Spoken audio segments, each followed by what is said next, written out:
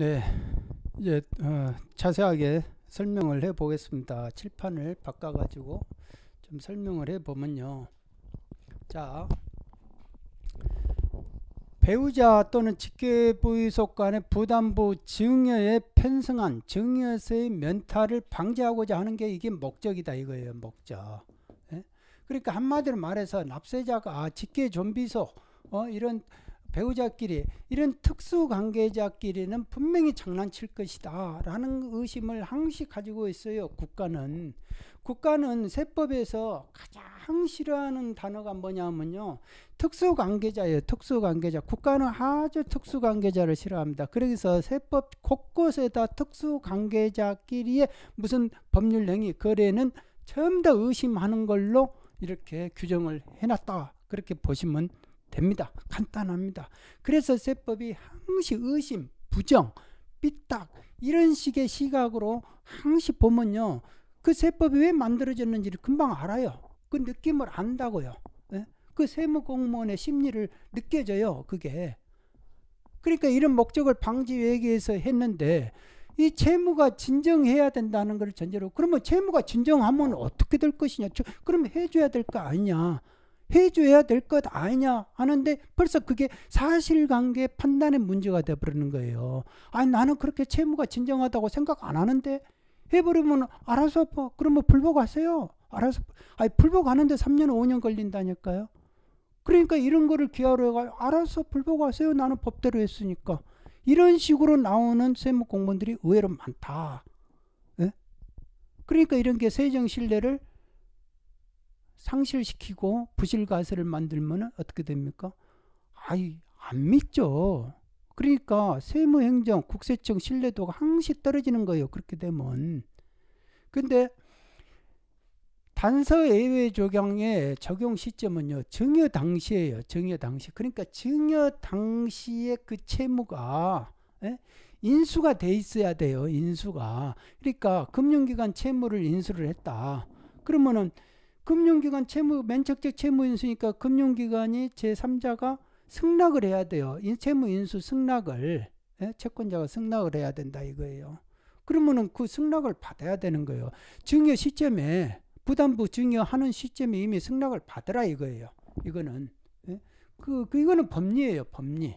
사실관계 판단 문제가 아니고 그러니까 저런 거에서 실수를 해가지고 매덕 과세 받는 경우가 생겼다 이거예요. 저게 실제 사건이 있습니다. 판례가.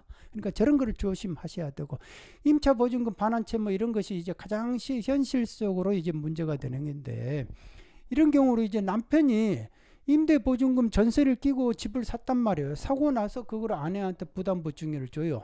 당신이 여보 당신이 그 임차 보증금 반환 전세금 줘 이렇게 하면서 내 집 가져가. 이렇게 했단 말이에요. 그러니까 그거에 대해서 국세청 세무공무원이 아 나는 그거 채무 너희들끼리 장난쳤으니까 나는 그거 인정 안 하겠다 이런 식으로 이제 나는 그렇게 안 해주겠다라는 식으로 부정적으로 보고 무조건 증여세 과세를 했거든요. 그런데 결국은 이제 대법까지 가는 과정에서 이, 겼죠 납세자가 무슨 소리 하고 있냐 이게 진정하면 채무가 진정하다는 게 입증이 되면은 해줘라 이거예요. 해줘라. 왜 어, 삐딱하게 그렇게 그런 식으로 생각하면 안 된다. 과세관청이 너희들이 그러면 그거에 대해서 아 진정하다는 거에 대해서 그럼 뭐 반대 증거를 내놔봐라. 음. 결국은 저런 게 1심에서 납세자가 이겨도요. 무조건 2심 올려요. 그럼 2심에서 또 이겨도 3심 또 올려요. 그래 저렇게 하다가 소송에 3년에서 5년 걸려버린다니까요. 그러니까 웬만한 사람들은 부, 아무리 부실 가서다고 생각을 해도요. 아이 그 소송하다가 지쳐버려요. 그리고 무슨 뭐 소송 대리인들 저 같은 사람들이 무슨 자원봉사자도 아니고 무조건 해달라 면 해줄 수 있는 게 아니잖아요. 그러니까 돈 없으면 불복도 안 되고 예? 시간 걸리고 모든 자료는 또 내가 챙겨야 되고 입증 자료는 그러니까 정력 에너지 소모가 되고 시간이 낭비되고 돈이 또 들고 그러니까 이 세 가지의 고통을 납세자가 감수하면서까지 내가 억울해서 못 살겠다 하면서 해야만이 불복이 되는 거예요. 그렇게 해서 기껏 이런 식으로 내가 아 진정한 채무고 부담부 채무가 맞다 어, 부담부 증여가 맞다는 것을 인정을 받았지만은 국가는 뭐라고 그래요? 미안하다는 말을 안 한다니까요. 국가는 꼭 어떤 사람들하고 똑같잖아. 거짓말하고도 절대 미안하다는 말 안 하잖아요. 무슨 신기가 있는 사람들은 그렇게 미안하다는 말을 절대 안 하더라고 내가 보니까. 그리고 이게 며느리와 시아버지 관계는요. 이 직계 좀비 속간의 관계가 아니에요. 이거는. 그러니까 이런 경우는 아니다. 예? 상관없다 이거예요. 저런 거는. 그리고 증여자의 채무를 인수를 해야 된다 이거예요. 증여자의 채무를 인수해야 된다. 증여자 동생의 채무를 인수한다. 그건 아니다 이겁니다. 증여자 동생의 채무를 인수하는 경우는 전혀 아니다. 그리고 이 부분에 대해서 제가 말씀드릴 거는 조금 이따 나중에 따로 말씀드릴게요. 그리고 예전에는요 규정이 직업, 성별, 연령, 소득 및 재산 상태 등 수증자가 채무를 변제할 능력이 있다고 객관적으로 인정되고 그리고 저런 시행령상의 채무를 인수하는 경우만 부담부 채무라고 내가 채무 인수라고 인정을 해주겠다. 과세관청이 그런 식으로 세법을 이런 식으로 적어놨는데 이게 위헌이 돼버린 거예요. 90원과 5 이런 이제 여러 사건으로서 위헌 법률이 됐다. 왜? 재산권의 본질을 침해하는 침해했다 이거. 아니 왜 채무 인수, 채무 이런 그저 금전 소비 대차 행위를 내가 왜 못하냐 이거예요. 왜?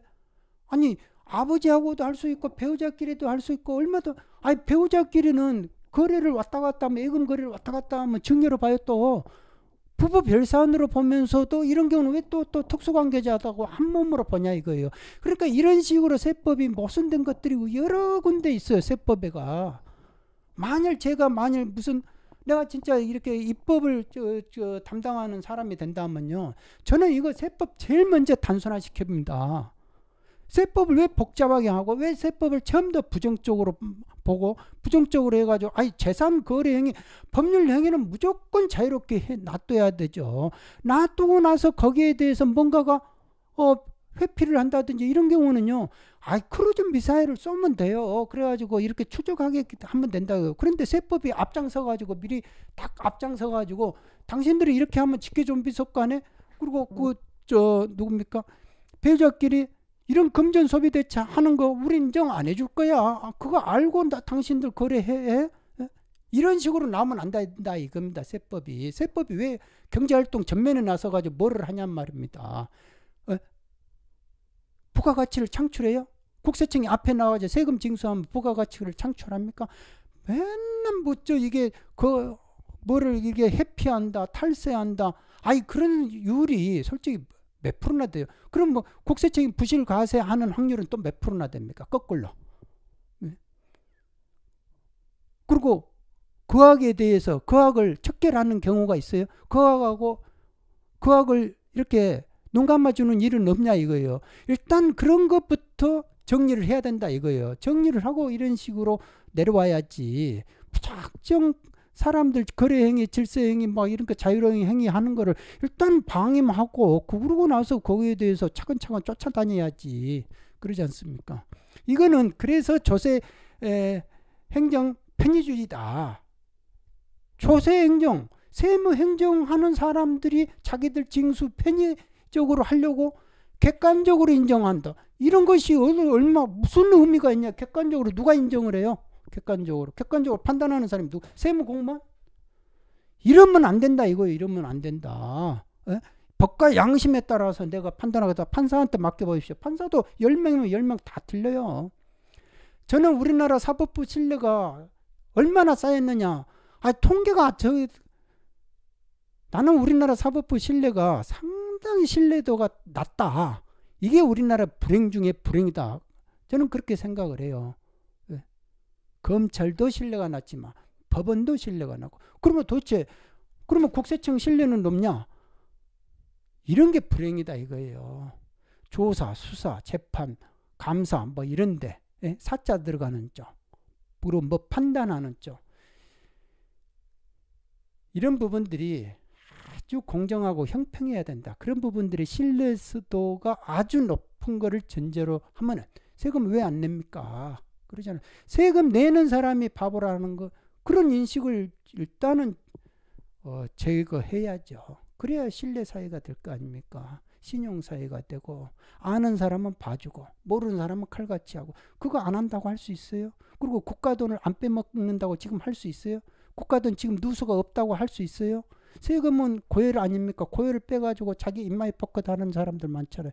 누구는 누구 국가 보조금 뭐 20억 빼먹어 버렸대. 누구 자기 호주머니 챙겼대. 막 이런 식이잖아요. 서로가 각자 도생으로 해가지고 국가 돈 서로 챙겨 먹기 바쁘다. 그러면 이건 큰일 난 거죠. 예?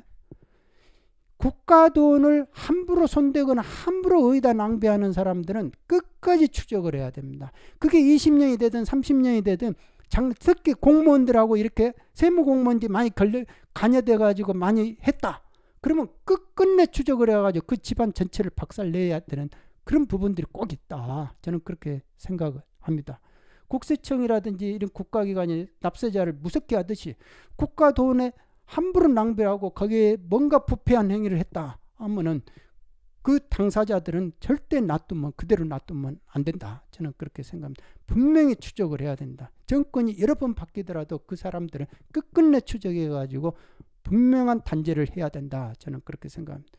그런 사건들을 적출을 해서 정리를 해야 될 필요가 있다. 언젠가는 분명히 그런 일들이 벌어질 것이다. 저는 그렇게 생각합니다. 감사합니다. 여기까지 하겠습니다.